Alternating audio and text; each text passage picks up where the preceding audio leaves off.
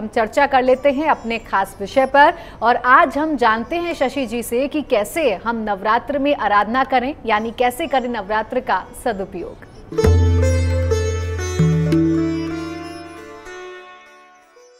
दर्शकों, आजकल माँ भगवती की उपासना में सभी लोग लीन हैं। नवरात्र के दिन बहुत ही ऊर्जा से पूर्ण होते हैं, यानी इस दिन ऊर्जावान होने का उद्देश्य होता है। देवी के इन दिनों में शुभ कार्य किए जाते हैं। बहुत चार्ज होता है ये नौ दिन। यह समय स्वयं को शक्ति से जोड़ने का दिन है, यानी शक्तिमय होना है। इन दिनों ऐसा कोई कार्य नहीं करना चाहिए जिससे शक्ति का क्षय हो, ह्रास हो जाए लॉस हो। दर्शकों, आज नवरात्रि के इन पावन दिनों में इनको कैसे और सदुपयोग कर सकते हैं? क्या क्या कुछ उपाय हैं जिसको करने से कुछ लाभ हो सकता है? आज इस विषय पर हम लोग चर्चा करेंगे। माँ भगवती की कृपा आपको प्राप्त हो। इसी उद्देश्य के साथ हम कुछ आज आपको उपाय बताएँगे। जीवन में कई प्रकार के जो तनाव हैं, संकट है, अशांति व्याप्त है, इन सबसे देवी कृपा से मुक्ति पाई जा सकती है। आज जो उपाय बताते हैं, इसमें है कि अगर आपके घर में पारिवारिक क्लेश है तो उसका एक उपाय है, इसको आप लोग करिए। नवरात्र की अष्टमी को या नवमी को। जब भी आपके यहाँ हवन होता हो, किसी के अष्टमी होता है, किसी दिन नवमी होता है, उसमें जो हवन होता है, उसमें आपको एक मंत्र पढ़ना है और उसकी 108 आहुतियाँ देनी चाहिए। यदि घर में नहीं होता है तो कहीं मंदिर में अगर हवन हो तो वहाँ जा सकते हैं। और वो जो मंत्र है, इसको आप लोग नोट कर लीजिए। स्क्रीन में डिस्प्ले हो रहा है, आप इसकी फ़ोटो ले सकते हैं। वो है, सब नर करही परस्पर प्रीति चलही स्वधर्म, निरत शुत नीति। इसका जाप करिए, इसका हवन करिए।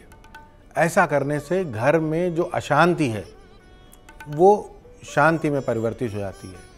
और अगर हवन नहीं कर पा रहे हैं, या हवन कर भी लिया है तो भी कोशिश करिए कि अभी से, कि आप प्रतिदिन 21 बार कर सकते हैं 27 बार कर सकते हैं, इसका जाप करिए। माँ भगवती की कृपा से आपके घर में जो भी कलह है, ये सब ठीक हो जाएगी। इसके अलावा, अगर आपके घर में धन हानि हो रही है, आर्थिक रूप से कुछ दिक्कतें रहती हैं तो धन लाभ के लिए नवरात्रि में अष्टमी और नवमी तिथि को आप स्नान ध्यान करके आप उत्तर दिशा की ओर मुँह करके बैठ जाइए। और एक स्फटिक के श्रीयंत ले आइए। और अगर आपके घर में पहले से हैं तो वो ही ले लीजिए। तो श्रीयंत लाकर उत्तर दिशा की ओर मुँह करके आप कुछ चावल लीजिए और उनको लाल रंग से, रोली से उनको रंग लीजिए और उसको थोड़े से चावल रखकर उसके ऊपर श्रीयंत्र रख दीजिए। और उसके आगे दीपक जलाइए, तेल के नौ दीपक जला लीजिए और माँ भगवती से आपको प्रार्थना करनी है। धन लाभ के लिए। आप आँख बंद करके कुछ देर ध्यान करिए, प्रार्थना करिए, किसी भी भाषा में करिए, माँ से कनेक्ट होइए। और इसके बाद ये श्रीयंत्र अपने पूजा स्थान में रख दीजिए और नियमित रूप से आप पूजा करते रहिए। धीरे धीरे आप देखेंगे कि आर्थिक रूप से जो फसावट थी, जो दिक्कतें चल रही थी, वो भी अब दूर होने लगी हैं। और ऐसा करने से और श्रीयंत्र की विधिवत पूजा करने से, पूजा में आपको नियमित रूप से स्नान कराना है श्रीअंत को। शहद से स्नान करा सकते हैं और सब स्नान कराने के बाद उनको अच्छे से साफ़ कपड़े से पोंछ कर, उसके बाद उसमें इत्र ज़रूर लगाइए, कोई परफ्यूम ज़रूर लगाइए, सुगंध आनी चाहिए श्रीयन से। और ऐसा आप नियमित करिए धीरे धीरे जो भी दरिद्रता है, उसका नाश हो जाता है। भगवती की कृपा प्राप्त होती है।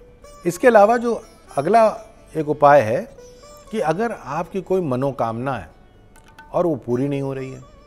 तो उसके लिए आप अष्टमी के दिन आप शिव मंदिर जाइए और जाकर सुबह जल्दी जा सकते हैं और परिसर में साफ़ सफ़ाई करिए।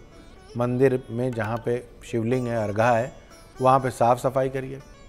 महादेव का श्रृंगार करिए बहुत मन के साथ, भाव के साथ। इसके बाद शिवलिंग में जलाभिषेक करिए, दूध डालिए, दही डालिए, घी से अभिषेक करिए शहद से करिए और साफ़ करके इत्र लगाकर, बेलपत्र लगाकर, चंदन का त्रिपुंड लगाकर और आप आ जाइए। उनको प्रणाम करके आप घर आ जाइए। शाम को, उसी दिन रात में, या तो फिर आप मंदिर जाइए। अगर मंदिर नहीं दोबारा जा रहे हैं तो आप घर पर ही एक छोटा सा हवन ज़रूर करिए। ओम नमः शिवाय का हवन करिए। घी से हवन करिए आप। 108 आहुतियाँ दे दीजिए। आप देखेंगे कि आपको बहुत लाभ होगा। इसके बाद जब आप ये हवन कर लेंगे अष्टमी से तो 40 दिन तक रुद्राक्ष की माला ले लीजिए या स्फटिक की माला ले लीजिए। ओम नमः शिवाय का घर में जाप करते रहिए। पाँच माला अगर आप जाप करते हैं तो ये बहुत ही अच्छा है और आपकी मनोकामना पूर्ण भी होगी और आपको खुद ही दिखने लगेगा कि चीज़ें अब पहले से बहुत बेटर होने लगी। दर्शकों, अक्सर घर में होता है कि विवाह योग, कन्या है, वर है। लेकिन अच्छे रिश्ते नहीं आ रहे हैं। विवाह हो नहीं पा रहा है। लाख कोशिशों के बाद भी विवाह के लिए लड़के लड़कियों का चयन नहीं हो पा रहा। तो इसके लिए भी एक उपाय है, नवरात्र में करिए और भगवती कृपा से आपको लाभ होगा। इसमें उपाय ये करना है, कन्याओं के लिए है कि नवरात्र के दिन पीले रंग के वस्त्र, देवी के पीले रंग के वस्त्र या तो सिले सिलाए हों, नहीं तो कपड़ा हो और कपड़ा बहुत फाइन क्वालिटी का होना चाहिए। या एक, ऐसे समझिए एक भाषा में कि बहुत पार्टी वियर कपड़े होने चाहिए देवी को जो भी दान देने हैं। बहुत कॉटन या बिल्कुल रफ नहीं होना चाहिए, बहुत अच्छा कपड़ा दान करें या कपड़े सिलवा के दें। इसके साथ ही कुछ पुस्तक, दुर्गा सरस्वती की पुस्तक हो सकती है या कोई भी धार्मिक पुस्तक होनी चाहिए। और माँ भगवती के लिए केसर की डिब्बी, केसर ले लीजिए, एक ग्राम की डिब्बी आती है, आप ले लीजिए। और उसको मंदिर में दान करिए। और आप देखेंगे कि माँ भगवती की कृपा से रिश्ता भी अच्छा आता है और विवाह का कार्यक्रम भी आगे बढ़ जाता है। वहीं लड़कों के लिए, विवाह के लिए नहीं हो पा रहा है तो उसमें क्या करना है कि माँ दुर्गा को चमकीले रंग के, सिल्वर रंग के कपड़े लेने हैं। लड़कियों में पीले हैं, इनमें सिल्वर, डायमंड के कलर के। और श्रृंगार का पूरा सामान। साथ ही एक परफ्यूम, इत्र की शीशी भी देनी है और मंदिर में जाके देना है। इसके अलावा, अगर काफ़ी दिन हो गए हैं, विवाह नहीं हो पा रहा है, एज भी निकल रही है तो एक जाप भी कर लीजिए। ये जाप है स्फटिक की माला ले लीजिए और उत्तर दिशा की ओर मुँह करके या आप अपने पूजा घर में बैठकर देवी जी के सामने ये मंत्र पढ़ना है। इस मंत्र को आप नोट कर लीजिए और ये मंत्र है पत्नीम मनोरमाम देही मनोवृत्तानुसारणीम तारणीम दुर्ग संसार सागर से कुलोद भवाम ये दुर्गा सप्तती का अर्गला से लिया हुआ है।